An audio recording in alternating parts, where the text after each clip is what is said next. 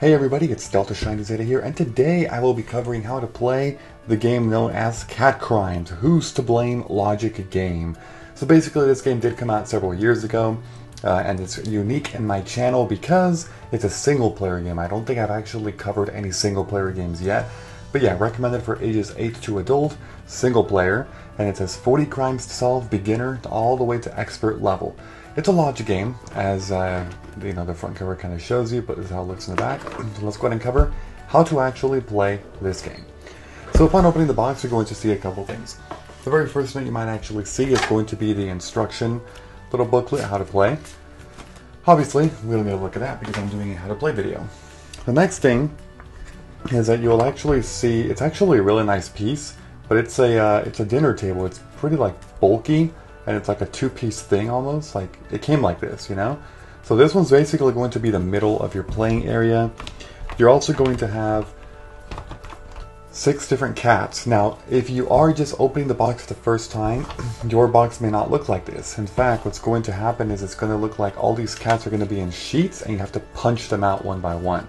But obviously I've already covered, you know, this game. I've like played it before, so yeah, it's not new. But yeah, you're going to find these six of them. As you can see, pretty nice. So I'm just going to go and lay down the six over here.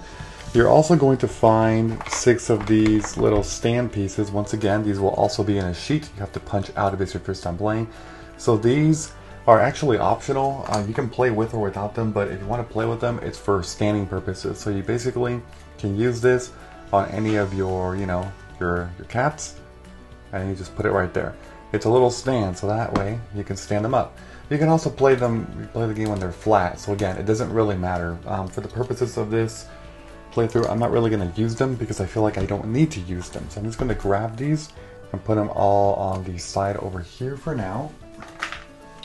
The next thing is going to be these little chip pieces. Uh, once again, these are going to be in a sheet as well. So there's six of them. I'm going to go ahead and take out all these. And the last thing should be this little box that says cat crimes and I'm to remove this from here.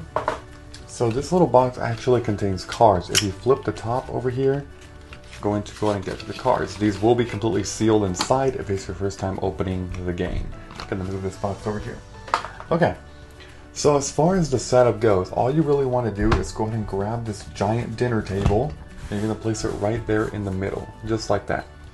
You're then going to take these six cats and you can just you kind of like lay them out on the side just so you can see what you're working with. It does help. I am actually going to move this a little more to the right. There we go. That way you can see what you're working with. And then you're going to have these uh, six chips here and just go ahead and lay them again next to the next to the table. And that's the setup. All you're going to be doing is essentially playing the game now, and you get to pick which cards. So you're not going to shuffle these. Um, you're not going to do that. The way this works is that there's two sides. So there's this side that has a bunch of little bullet points, and then there's this side over here that has a picture of the dinner table. So you'll also notice that there's four types of cards. The green is beginner, yellow is intermediate, blue is advanced, and red is expert. So, the goal of winning this game essentially is trying to figure out which of the cats is the one that committed the quote unquote crime. Every single card that you play with is going to be a different game in itself, and because it goes all the way up to 40, as you can see the number there 40, 1, they're all numbered. Uh, there's 40 different games that you can actually play. So let's go ahead and just use this first one as an example. Number one, when you choose a card, just go ahead and put all the others on the side. I'll just put them over here, and we've officially chosen to play this one. So we're going to play the game. So the way it works is that you take a look at this icon over here, and all you're going to do is find a chip that corresponds with that icon. So that one's actually shoes. Um, so that means what I'm going to do here is look through them. There it is. These right here. And what you're going to do is find a corresponding item on the dinner table, but on the dinner table it will always be the non-crime version, meaning no cat has caused disaster yet. But with this, you can see that a cat has caused disaster. There we go. Place it right on top. So there's one for each. There's this one, which is the pot. The flower pot goes right here. It says the pot. Do the bird cage, right there. The bird cage will be this one here. The fish bowl. Oh, it's a little glary. There we go. Fish bowl's right over here. There's a coffee spill. and there's a ball of yarn that's been messed up right there. So that's how they correspond. But again, for the sake of this game, we only need the shoes. So we're going to put the rest away. There we go. Okay. The way this works is that you have to try and figure out which cat was the one that actually caused this right here. Basically, the cat that's going to be in front. So, let's take a look at the card here and see how to play this. You're going to be looking at the bullet points, one at a time, and gaining clues to know how to actually figure out who did what. Now the beginner ones are incredibly simple, like incredibly easy. So let's take a look at this one. Mr. Mittens and Pipsqueak were upstairs sleeping. This is the dinner table. If any cat is upstairs sleeping, as an example, they're not actually going to be involved. So that means we can remove Mr. Mittens and Pipsqueak. We'll look over here, Mr. Mittens, Pipsqueak. Those are not involved, so we know it's not them two. Second one. Tomcat was sitting in front of the catnip and sock. So we take a look at this. Let me actually bring it closer the catnip and sock. So we see a sock here, we see a catnip here and a sock here, which means it must be here. So there's different areas. Basically, there's six different areas. There's one, two, three, four, five, and six. You can actually figure this out pretty easily by looking at the instructions to see where the placement of cats can actually be. Right here. See those playing areas?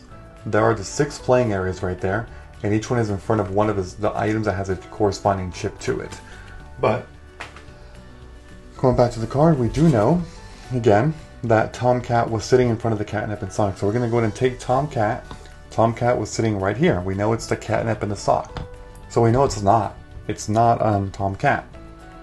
Nice one. Sassy was sitting across from Tomcat. Let's get Sassy. Sitting across means on the other side of the table, which means that Sassy was in front of the coffee. The next one. Ginger was sitting next to the fishbowl. The fishbowl is right here.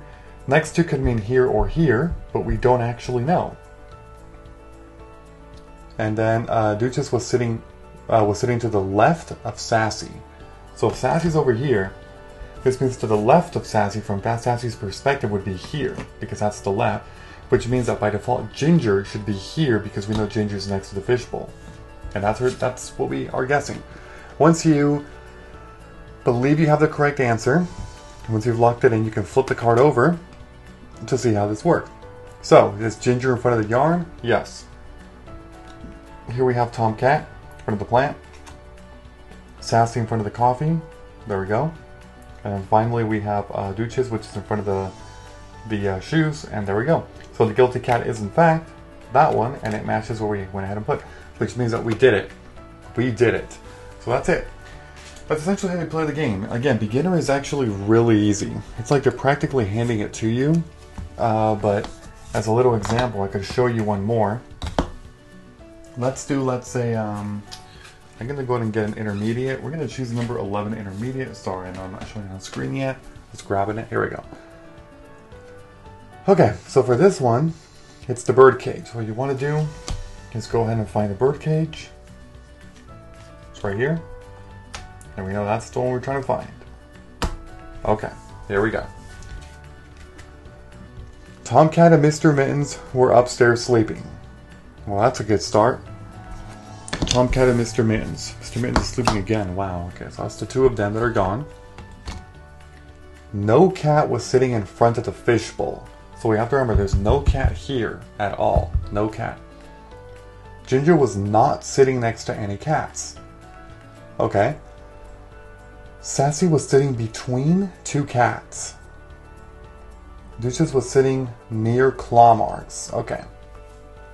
And the last one, Pipsqueak was sitting in front of either the, the bell bowl and paw print or the catnip and claw marks.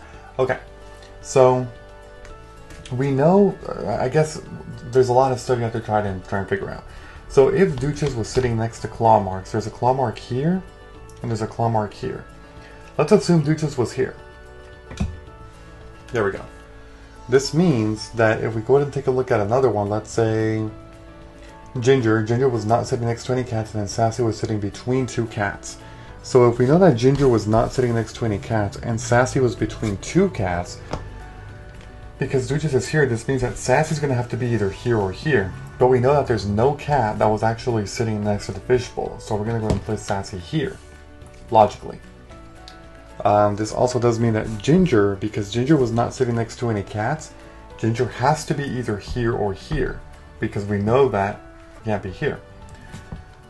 And so, the last one was Pipsqueak. Pipsqueak was sitting in front of either the bell ball and paw print or the catnip and claw marks. So the catnip and claw marks is right over here, which already has Duchess in it. Or the second one, the paw print, or sorry, bell ball and paw print, which is right here. If we put Pipsqueak here,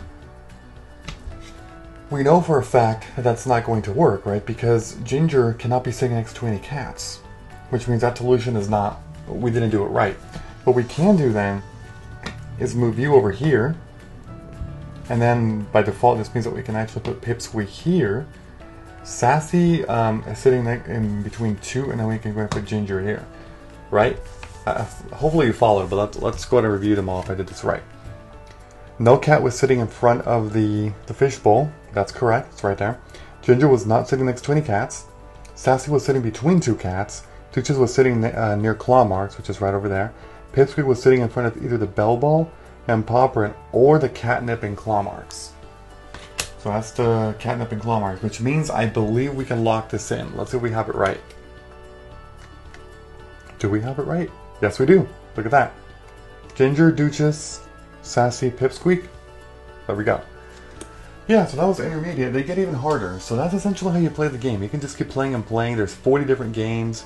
Uh, the game does suffer from eventually from uh, replayability because eventually you're going to know the solutions if you play a lot.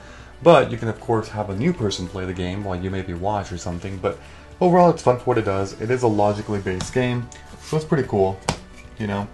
But that's about it for the game. So hopefully I taught you how to play the game. So before I end this video, don't forget to leave a like, comment, subscribe, and turn on those notifications if you enjoyed the video. I will see you all later. Bye-bye, everyone. Have a great day.